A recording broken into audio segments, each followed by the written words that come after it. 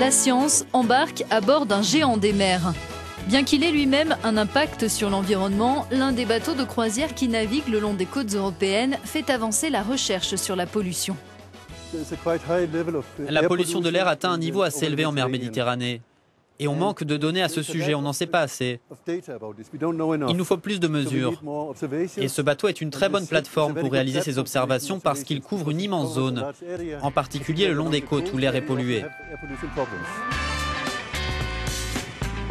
Mener une campagne de mesures sur des années coûterait extrêmement cher si les chercheurs affrétaient leurs propres navires.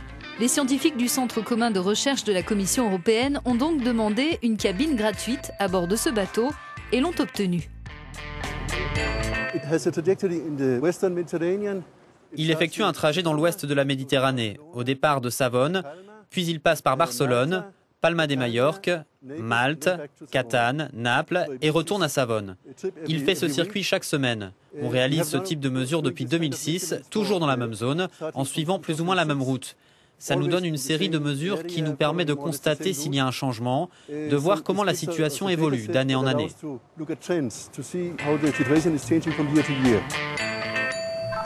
La pollution atmosphérique au-dessus de la mer provient surtout des grandes villes et des transports terrestres et maritimes. Ce jour-là, les scientifiques sont à bord pour des opérations de maintenance, mais le reste du temps, les appareils sont autonomes.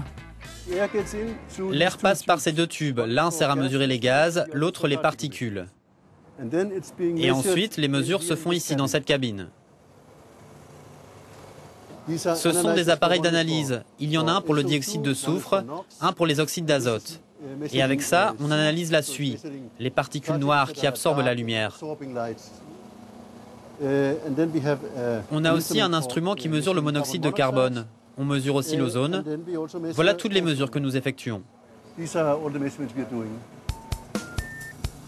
La station prélève en continu des échantillons d'air au-dessus de la mer et dans les ports.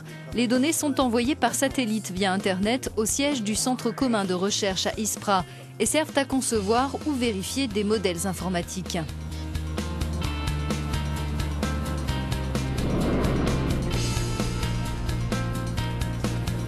Les scientifiques commandent à distance la station d'enregistrement embarquée. Grâce à ce système d'acquisition de données, on peut facilement accéder aux mesures sans avoir l'obligation d'être présent physiquement à bord du navire qui, lui, se trouve à des milliers de kilomètres d'ici. Ça rend notre travail beaucoup plus simple.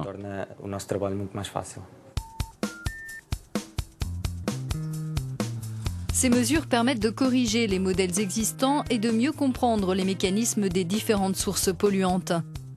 Elles démontrent aussi parfois l'efficacité de certaines mesures, comme les normes de l'Union européenne sur les carburants maritimes à faible teneur en soufre, qui sont entrées en vigueur il y a quelques années.